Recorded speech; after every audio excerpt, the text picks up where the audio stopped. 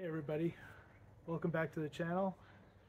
It's uh, springtime finally and uh, I'm able to get out here in the backyard and do some astrophotography but um, this video is going to be uh, finally a review of my mount so please stick around and uh, let's get into the video.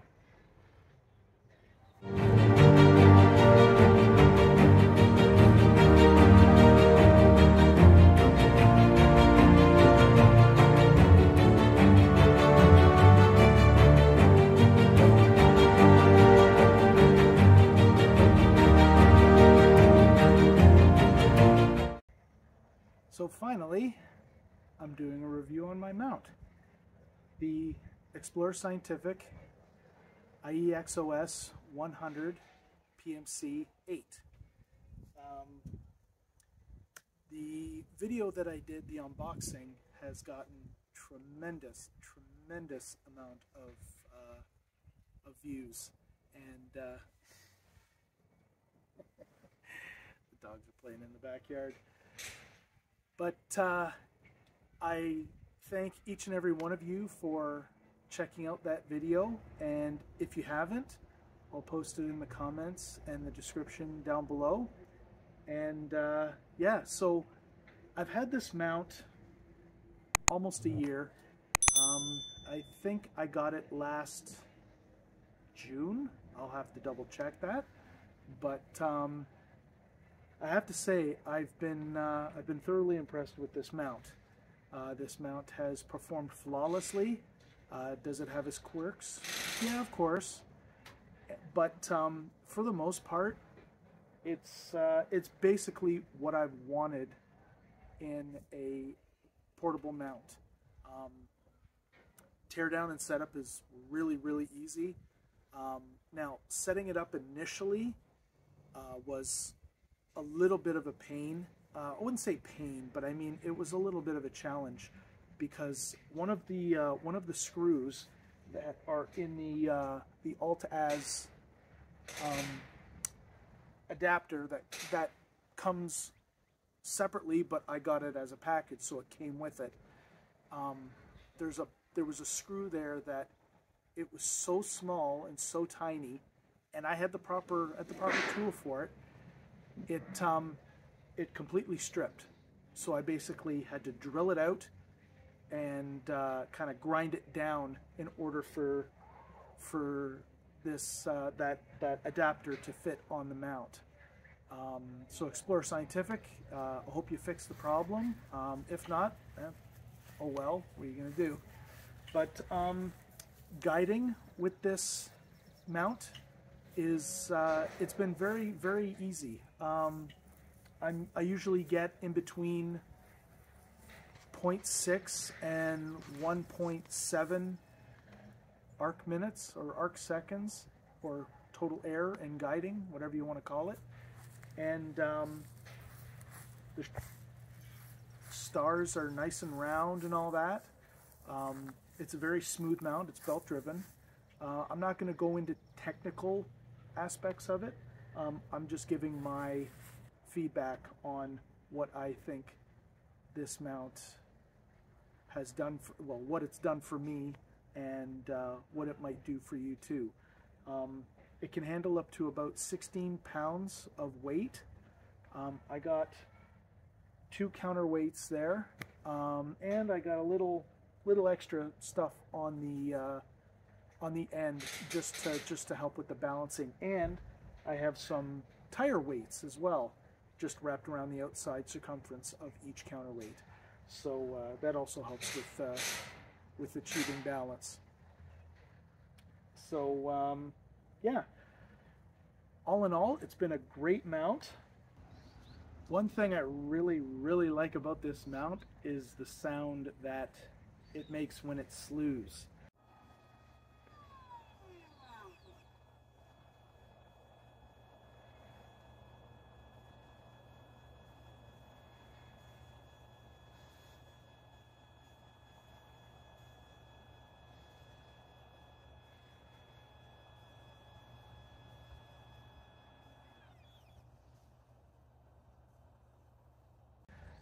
Um, it's it's just a, sa- a totally satisfying sound.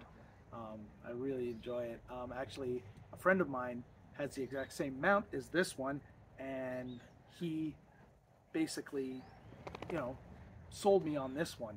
So that's why I got this one. As, um, I said before, um, I got it as a package. So it came with the mount, counterweight, the Altazimuth uh, adjustment or adapter, and th this. I got it plugged into stuff here, so I can't really raise it. It's a uh, it's a lithium-ion battery, um, and uh, it's got uh, a USB port on it, and that's what I have hooked up to here is uh, right to my uh, portable router.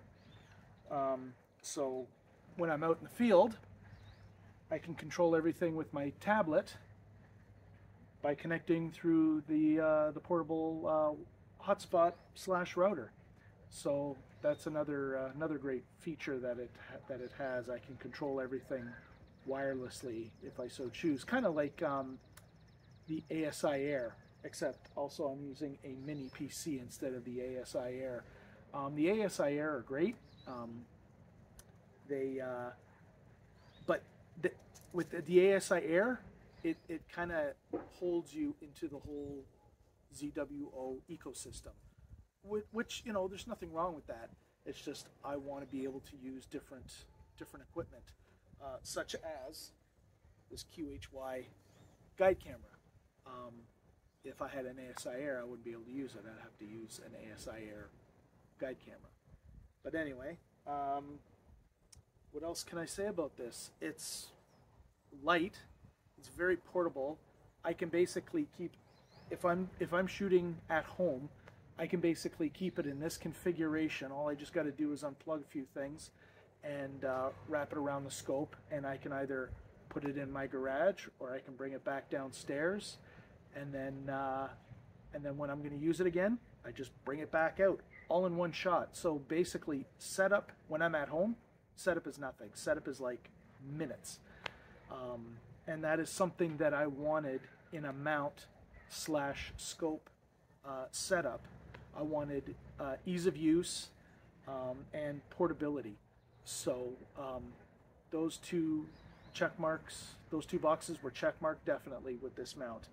Um, I'm not exactly sure how much it weighs, like total. I this whole setup probably weighs maybe 30 pounds, if that, maybe maybe 35 pounds. I haven't really weighed it, but I mean I, I can pick it up with ease and I can move it anywhere in the backyard if I need to. Um, now, uh, one gripe slash concern I have is the polar alignment.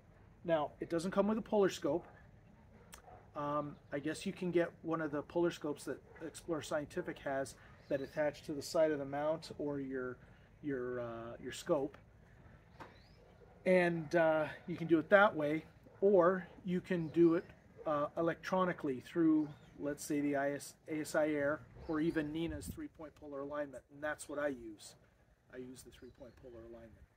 Um, it is extremely I find extremely finicky uh, when when doing polar alignment. Now partially that comes down to me as well I I do tend to rush things um, when doing polar alignment. Um, and I, I shouldn't. I should just slow down, make minor adjustments, but I want to get as much time under the clear sky as possible. So with that, I just have to slow down. But I mean, it is very, very finicky in in the adjustments. Like just a small adjustment. And uh, you know what? I'm probably sure that goes with any kind of mount or any kind of um, procedure that you're going to do for polar alignment. Um, but just once you get close, um, you have to really start making very, very small adjustments. Um, but that is my really my only gripe slash concern with this mount. Um, now, other than that, like I said, the mount is flawless, performs flawlessly. Um, love the sound, and uh, I would highly recommend anybody to get this mount. I think they discontinued this version of mount. Now they, they have the same kind of mount, but it's a different version, I believe. Um, and uh, but I would I would definitely highly recommend this mount to anybody that's starting off. And actually, this would I would consider this a starting a starter mount. Um, now, you can't really put more than about 16 pounds of weight on this. So um, the the Schmidt Cassegrain that I used to have, the the Celestron C8 or the the 8SE, uh, it wouldn't fit on this. It, it, would be too much, and plus the um, the uh, the adapter that uh, that holds the scope to the mount, um, it's uh, it's not big enough. You need a Losmandy one instead of a uh, a dovetail. So, um, but yeah, other than that, this mount has been a really, really dependable piece of uh, machinery and an awesome investment. So um, I hope you enjoyed this review. It's not as in-depth as most people do for reviews, but I'm not technical, so I don't go get into the technicalities of specific products or anything like that. Um, I just try and tell you, the viewer, my experience with it and if I would recommend it to somebody starting out. And I would give it two thumbs up for that. So um, I hope you all enjoyed the video, and uh, we'll be seeing you here throughout the summer. I'm going to be making more content. If you like the content here, please hit that subscribe button and the like button. That really helps my channel out a lot.